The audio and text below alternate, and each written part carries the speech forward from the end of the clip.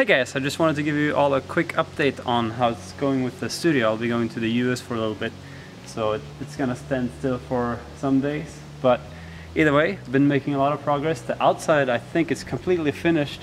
I have gutters up, I have the, the painting done. Everything's done except from that I want to build a small like staircase for the door. Uh, and I have to put up the actual door trim.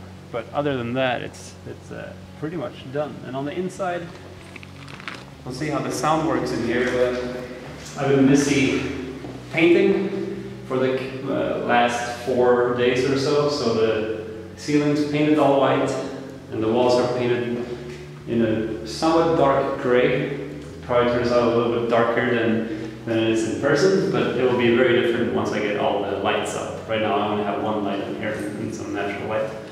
So that's going to be very nice. I have some stuff to do here. I have to finish the edges along the ceiling.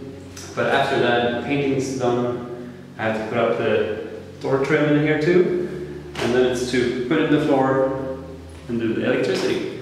And then, uh, yeah, start fixing the sound, which I can do over time, I think. I, I, I would love to get in and drum as soon as possible with some acoustic treatment, of course, but work on, you know, adjusting the treatment all the time to make it as good as possible and run all the tests and measurements and such. But yeah, this is this is what it's like right now. So have a good day. Thanks for checking in.